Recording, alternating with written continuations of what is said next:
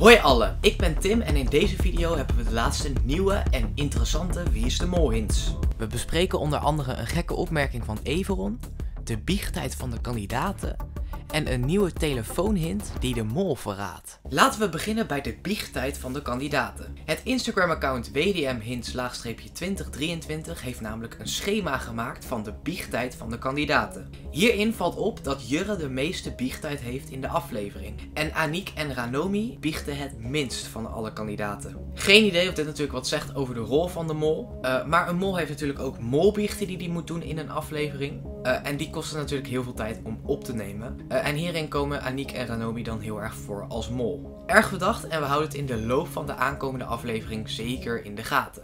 In de vorige hints video vertelde ik over een shot in de leader waarbij er iemand met zijn handen tegen het scherm aanstaat. Met wat het lijkt een vrouwelijk figuur. En daarnaast heeft deze persoon lange vingers, wat kan leiden tot een vrouwelijk personage.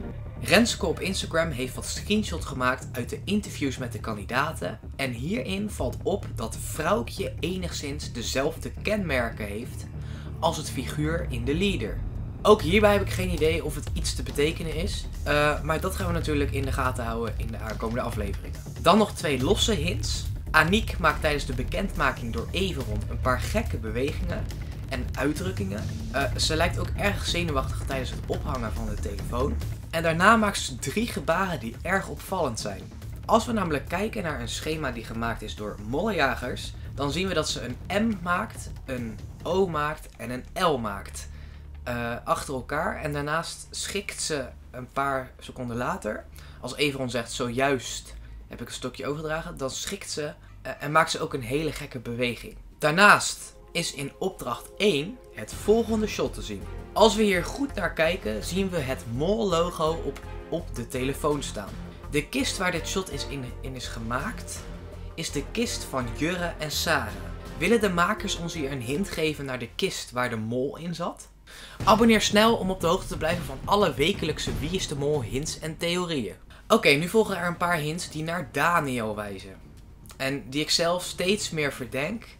Uh, en de meeste van deze hints komen van het Instagram-account Mollejagers, die ver in de tunnel van Daniel zit verstrikt. Allereerst, een hele goede hint. Wordt er door Everon gezegd dat hij zijn stokje heeft overgedragen aan de nieuwe mol. Als Daniel de kist uitkomt, heeft hij letterlijk een stokje vast. En begint hij ermee te wijzen met de locaties op de kaart. Als we verder kijken naar hoe de kandidaten staan tijdens de bekendmaking van hun rol, uh, en de letters wie is de mol onder hen neerzetten, dan staat bij Daniel de letter M van mol onder hem. Ook nog een leuke, enigszins lastige naar Daniel. Uh, hij begint net zo fanatiek als Jan, de mol van seizoen 18. Hij maakt zoals het lijkt een soort emmetjes. Net zoals Jan deed met de woordzoekeropdracht in seizoen 18. En Daniel vult vraag 18 in tijdens de test. Daniel maakt dus misschien wel verbinding met de mol van seizoen 18. En verbinding is natuurlijk de afleveringstitel. Dan nog in opdracht 2, daar heeft naar alle waarschijnlijkheid Daniel letters omgewisseld tijdens het zingen van I'm Not Innocent. I'm not. Uh, is Daniel niet onschuldig, maar schuldig als mol? Uh, daarnaast heet de opdracht natuurlijk toonaangevend en Daniel geeft hier letterlijk de toon aan door de letters aan te geven die verplaatst moeten worden. Op Instagram vertel ik je de dagelijkse hints en theorieën uit de aflevering. Neem hier vooral ook een kijkje. Ook heeft Daniel in opdracht 2 een shirt met de Teenage Mutant Ninja Turtles aan. Uh, en waar leven en wonen die turtles? Juist, onder de grond. Dan gaan we nog even naar de verdenkingen uit Nederland kijken. En daar valt ook iets best wel iets op. Uh, Soy wordt het meest verdacht, gevolgd door Aniek en Ranomi. Uh, echter denk ik zelf dat geen van deze drie de mol kan zijn. Soy is een van de bekendste in de groep en uh, wordt dus puur verdacht door zijn bekendheid. Aniek, haar molacties tussen haakjes, uh, worden door makers puur in de aflevering gelaten om haar verdachte te laten lijken. terwijl ze eigenlijk de mol gewoon helemaal niet is en dit expres doet. En Ranomi is denk ik vooral verdacht door het pakken van een bad eentje op de achtergrond en de Olympische kleuren stippen op de kisten.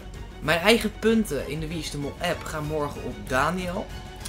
Uh, ik geef wel een tip mee en dat is zet je punten op minimaal twee personen in. Dan, om de video af te sluiten, heb ik nog een vergezochte hint. Uh, het is vandaag namelijk vrijdag de 13e. En wie zit er bij stoel 13 in de buurt? Ranomi. Dan voor nu bedankt voor het kijken naar deze hints en theorieën video alweer. Uh, abonneer zeker snel mocht je dit nog niet gedaan hebben. En dan zie ik je de volgende keer weer. Laters.